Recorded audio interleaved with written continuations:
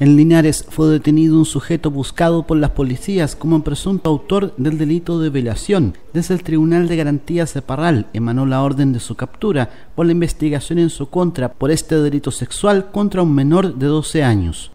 Los antecedentes reunidos en el, proceso investigativo están ya en el poder del Ministerio Público y se continúan las diligencias en virtud de las instrucciones que emane el, Ministerio Público de, Parral para seguir profundizando y estableciendo eh, la participación fehacientemente de este sujeto en los hechos investigados. El delito ocurrió hace tres años, incluso confesó el hecho, pero era imposible su ubicación hasta la fecha. Los hechos eh, se, se, sitúan en la comuna de Parral y habrían ocurrido hace tres años atrás aproximadamente, oportunidad en que el niño tenía 12 años de edad.